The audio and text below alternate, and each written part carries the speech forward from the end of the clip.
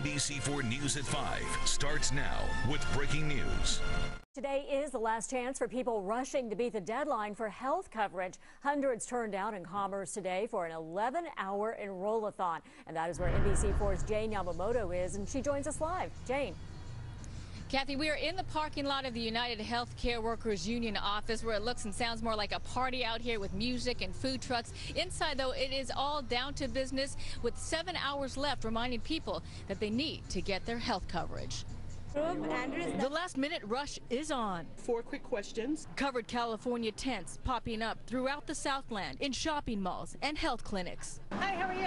One by one, people lined up armed with documents, signing up for health insurance. Everyone with different reasons for waiting till the last minute. I procrastinated. Just being lazy. I'm a college student that always waits for the last minute deadlines. A deadline 21 year old Emily Alfaro can't afford to miss. Without coverage, she could face federal tax fines. Alfaro who does not have health insurance, recently got sick and got stuck with the bill she didn't expect. And then the bill came out super high, so I felt so bad. Like, cause even though my mom and my dad are helping me pay for it, it's kind of like if I had health insurance, that cost would have gone so much down. I don't know why anyone thinks they don't need insurance. Certified enrollment counselor Ann Franklin says it's been a trend with a certain age group. We have that age group that we call the young invincibles.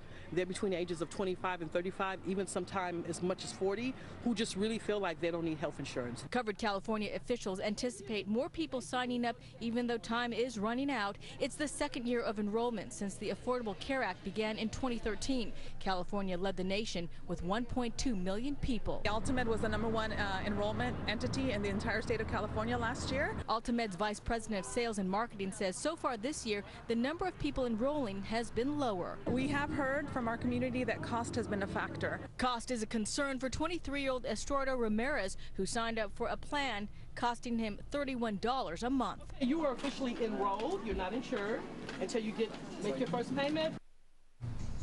And a reminder to anyone signing up to enroll, there are specific documents you need. We have all that information listed on our website, NBCLA.com. You can, of course, enroll online as well. And the deadline is midnight. Reporting live from Commerce, Jane Yamamoto, NBC4 News. All right, Jane, thank you so much.